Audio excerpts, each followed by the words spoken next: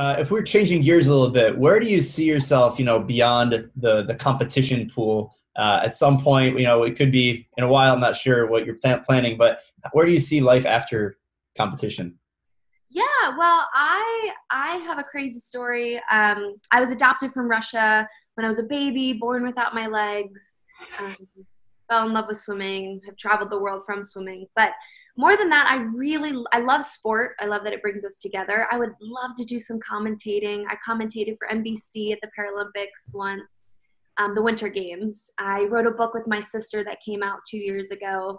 Um, so I have other book ideas and speeches. I love public speaking and sharing my story.